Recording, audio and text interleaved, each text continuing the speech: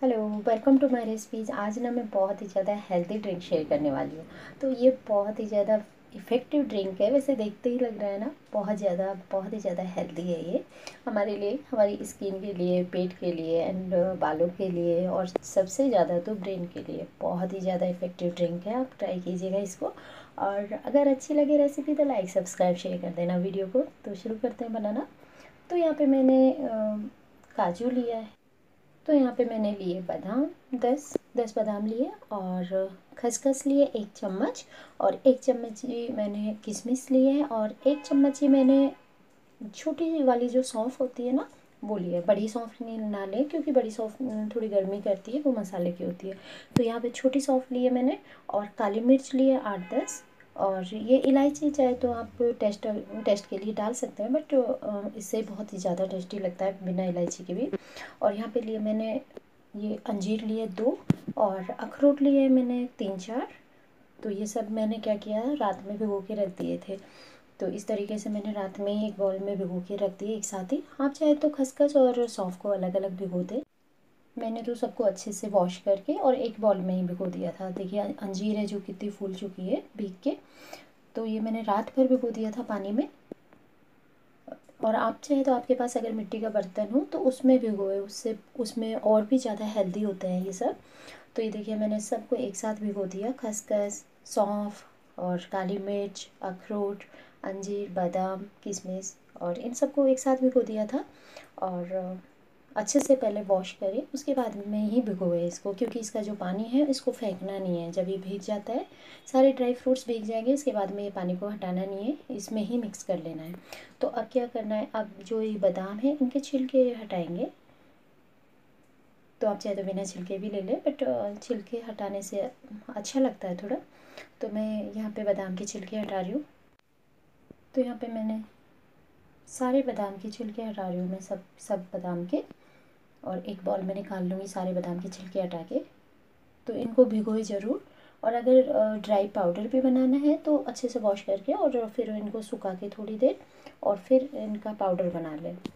तो इस तरीके से मैं सारे बादाम के छिलके हटा रही हूँ। और ये आप ज़रूर डेली डाइट में शामिल करें इस ड्रिंक को। मॉर्निंग में खाली पेट पिए इसको।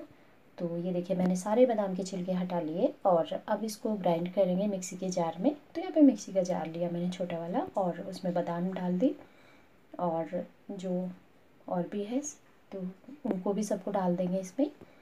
तो अंजीर और अखरोट वगैरह जो भी सब है तो उसको डाल देते हैं अब इसमें। तो ये मैंने अखरोट भी डाल दिए और किशमिश वगैरह सब डाल दिए इसमें। तो सारे ड्राई फ्रूट्स डालने के बाद में जो उसका भिगा हुआ पानी था, जिसमें भिगोए थे ड्राई फ्रूट्स तो ये देखिए पानी बचा हुआ है। तो अब इसको फेंकना नहीं है बिल्कुल भी। तो इसलिए बोल रहे थे कि अच्छे से पहले वॉश करके उसके बाद में ही भिगोए रात में, ताकि ये जो पानी बच जाता है, इसको वापस से जब ग्राइंड करें ड्राई फ्रूट्स को तो उसमें वापस से डाल दें इसको, क्योंकि ये पानी बहुत ही ज़्यादा हेल्दी है, क्योंकि इसमें सारे ड्राई फ्रूट्स भिगे हैं।